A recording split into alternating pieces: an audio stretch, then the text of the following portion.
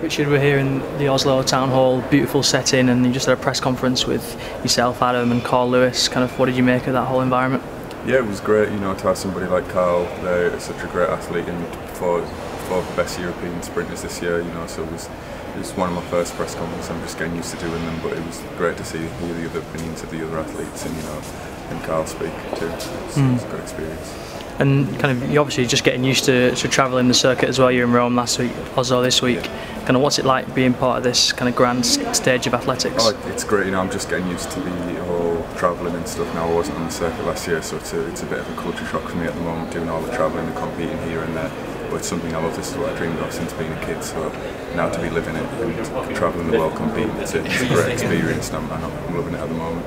And you were asked in the, uh, your preference over 100 or 200 this season.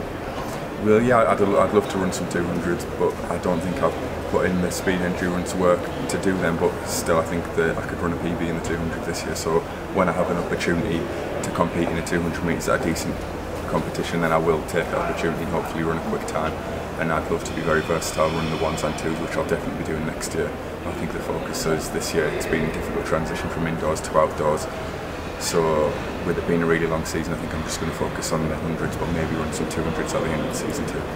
And Carl Lewis also spoke about how the Americans are having issues with their relay team dropping batons and things, whereas our relay team is starting to kind of come together now. Are you excited by that prospect? Yeah, it's great. You know, we, we came together at the Bahamas and we ran two really good times. We, we passed the baton around safely twice, and we've got a lot of talent out here you now. So as long as we keep the keep the baton in the zones and don't drop it, then I think we're going to break the British record. I think the team that we've got now with the talent in the country, that's the least we should do, and I think we should lead with. I think we could break the European record and you know win, win gold at the European Championships as long as we get the baton round. But I say it's a great prospect and it's exciting to have the amount of sprinters we do at the moment.